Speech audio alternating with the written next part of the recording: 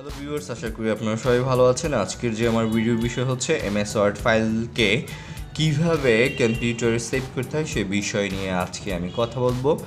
Save যারা save কম্পিউটারের কাজটি পান তারা অলরেডি ভিডিওটি স্কিপ করতে পারেন। আর যারা নতুন ইউজার রয়েছেন, তারা অবশ্যই ভিডিওটি এ টু জেড দেখবেন এবং আমার চ্যানেলটি সাবস্ক্রাইব করবেন এবং পাশে থাকা বেল বাটনটি কিন্তু অবশ্যই অন করে রাখবেন নতুন সব ভিডিওর আপডেট পেতে। তো ভিউয়ার্স আপনারা দেখতে পাচ্ছেন যে আমি যে ভার্সনটি ইউজ করছি, সেটা হচ্ছে MS word Microsoft office word program দু হাজার ষোলো ভার্সনটি ইউজ করছি। আপনারা কীভাবে এই ফাইলটি ওপেন করবেন? উইন্ডোজ টেন আমি ইউজ করছি। এখানে স্টার্ট মেনুতে ক্লিক করবেন। স্টার্ট মেনুতে ক্লিক করার পরে আপনার যে ফাইলটি প্রয়োজন, সেই ফাইলটি লিখতে হবে আমার প্রয়োজন ওয়ার্ড ফাইল আমি ওয়ার্ড লিখি W O R D word লিখলে আমার মনিটরে চলে আসবে। এই যে এই যে ওয়ার্ড ফাইলে আমি উপরে একবার ক্লিক করলাম।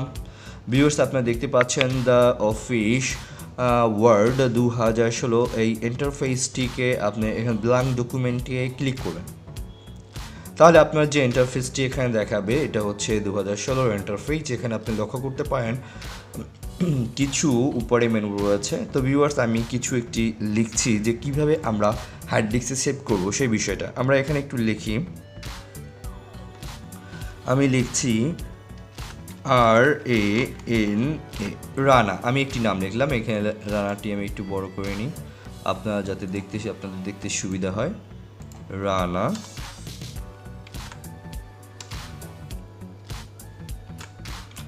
এই রানা ফাইলটি লেখা, রানা নামটি লেখার পরে এখানে আপনার যা ইচ্ছা তাই লিখতে পারেন। Dot dot dot. সো এই যে লেখাটি আমি কম্পিউটার কীভাবে হার্ড ডিস্কে সেভ করে রাখব? যাতে আমি কম্পিউটার বন্ধ করার পরেও আমি চার, পাঁচ মাস পরেও যদি আমি কম্পিউটারটি ওপেন করি, তাহলে আমার এই সেভ করা ফাইলটি আমি দেখতে পারব। সো প্রথমে আপনাকে যে কাজটি করতে হবে ভিউয়ার্স আপনাদের যে কাজটি প্রথমে করতে হবে, সেটি হচ্ছে এই ফাইল অপশনটিকে একবার ক্লিক করতে হবে। আপনারা দেখতে পাচ্ছেন, একদম ক্লিয়ার করেছে এই ফাইল অপশনটিকে যখন আমি ক্লিক করব, তখন আমার সামনে একটি সেভ বাটন লেখা থাকবে। সেভ অপশন আমার এখানে লেখা থাকবে। এই সেভটি যখনই আমি এই সেভ লেখায় আমি ক্লিক করব, তখনই কিন্তু আমার একটি আর একটা অপশনে নিয়ে যাবে ওরা। সেভে যাওয়ার পর আপনি ব্রাউজে ক্লিক করতে হবে।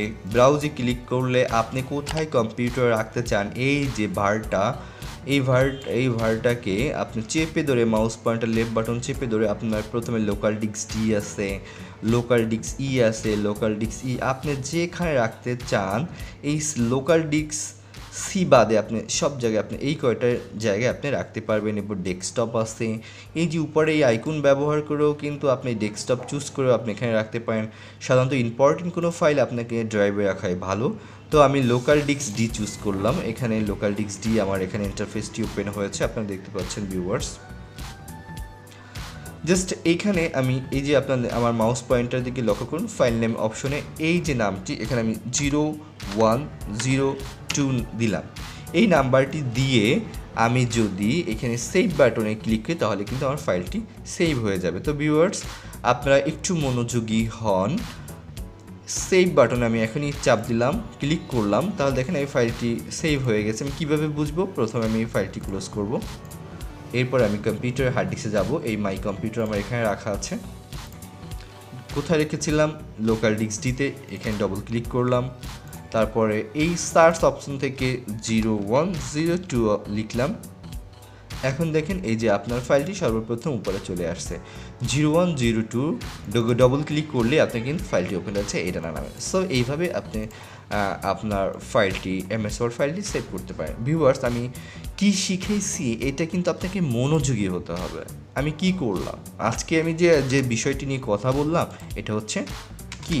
বলেন তো আপনারা S A V E save save হচ্ছে কম্পিউটারের হার্ড ডিস্কে কোনো ফাইলকে সংরক্ষণ করে রাখার একটি পদ্ধতি, তাই না? তো এখানে